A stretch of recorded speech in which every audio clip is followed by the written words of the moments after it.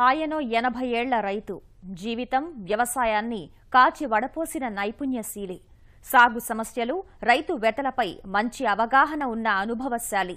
వ్యవసాయ రంగ దుస్థితిపై కేంద్ర రాష్ట్ర మంత్రుల ఎదుట గళం వినిపించిన ధీశాలి.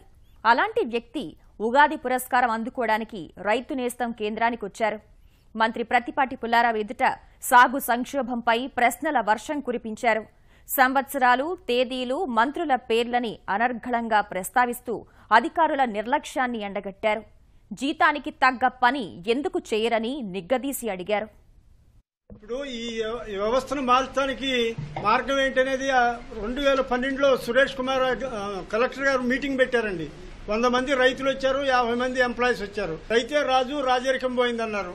ఈ దేశానికి అన్నం పెట్టే రైతు ఎన్నుము కీర్చేశారు రసాయనిక ఎరువులు పెస్టిసైడ్స్ వస్తాం వల్ల వ్యవసాయం దెబ్బతింది భవిష్యత్తులో ఆహార పంటలు పండమని సబ్జెక్టు పెట్టారండి. పెడితే అందరూ అయిపోయారు. అందరూ రైతే రాజు రైతే రాజు అంటున్నారు దానికి పరిష్కారం ఏంటంటే ఎవరు రాలా. మేము వెళ్ళి వ్యవసాయం ఒక నెలలో మార్చగలుగుతామని అన్నాం. ఒక ఎంప్లాయీ అన్నాడు మీ దగ్గరే ఉన్న మంత్రదండం ఉందా? అన్నారు. మంత్రదండం కాదండి బ్రిటిష్ గవర్నమెంట్లో అగ్రికల్చర్ లేబర్ కన్నా ఎంప్లాయీ శాలరీస్ తక్కువ ఉండేవి.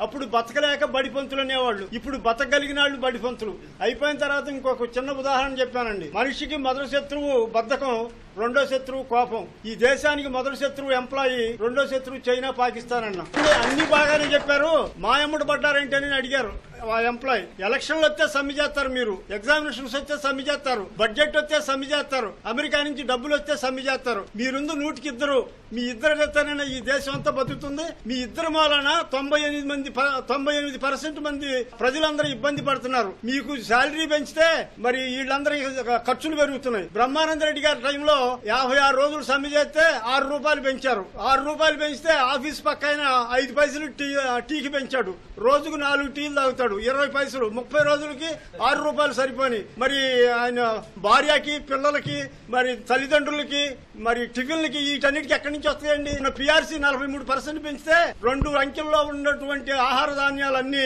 మూడు అంకెల్లోకి వెళ్ళిపోయి మళ్ళీ అయిపోయింది మళ్ళీ మాకు డిఏ పెంచుతారా టీఏ పెంచుతారా ఎంత పెంచితే సరిపోద్ది? ఇదే విధానం అండి. అగ్రభాగం అదే జీతాలు పెన్షన్లే మన రాష్ట్రానికి ఇప్పుడు మేజర్. ఈ రోజు వాళ్ళకేమో అసోసియేషన్స్ ఉన్నాయి రైతులకు లేవు. రైతుల్లో ఐక్యత లేదు.